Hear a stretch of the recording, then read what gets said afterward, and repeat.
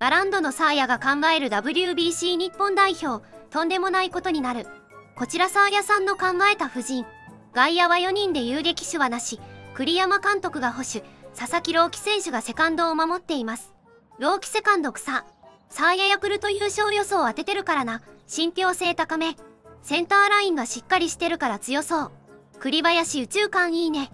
これは、ヌートバーをショートと考えたらいいですか？キャッチャー監督は野村、古田、谷重に続く偉業。守備の時相手の打席潰し、で大谷起用。キャッチャー栗山と大谷白さ。村上とヌートバーと鈴木だけやってるのもおもろい。本当に野球知らんのかの割には強強メンツやん。160キロで盗塁刺されるのやばすぎる。キャッチャー栗山で草。大谷とガッフェガラガラ。栗山をアンパイアに置くことで忖度を狙う神采配。これパリーグ最強打者の開拓屋さん専用シフトらしい。